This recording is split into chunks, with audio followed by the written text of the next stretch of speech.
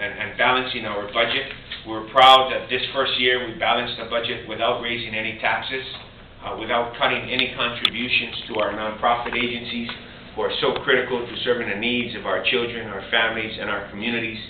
Uh, we look forward to continuing uh, to support our nonprofit agencies because it's in this time of declining revenues and declining contributions from the federal, state, county, and private sectors that we want to maintain our support uh, for agencies that demands for increase of their programs and services continue during this difficult time.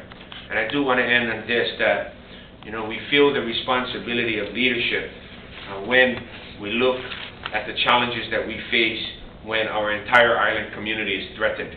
I do want to thank every one of our first responders, Quince Mento at Civil Defense, Police Chief Harry Kubojiri, Fire Chief Darryl Oliveira, and all of the many community volunteers that respond to our EOC, or Emergency Operations Center.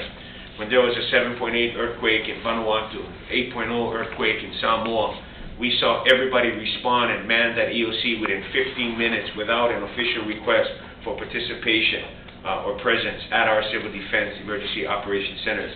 We went and had a tsunami drill, first took office in January, and we believe that preparation and the many years under Mayor Harry Kim's leadership as both Civil Defense Director and Mayor has prepared our first responder system.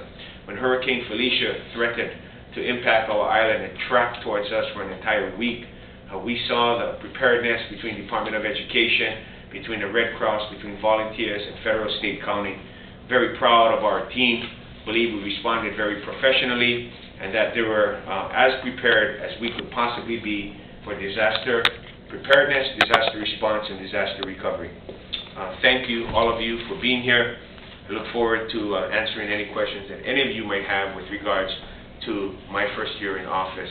And then I just want to end that it's been an honor and privilege, and I know that as much as we've been able to do, it's but a small step towards moving our community forward, and we understand that the challenges going forward, uh, both economically uh, and with regards to our budget, uh, looms, and we'll probably uh, have a little more challenges than we've had in the past, but we look forward uh, to tackling them in a positive way.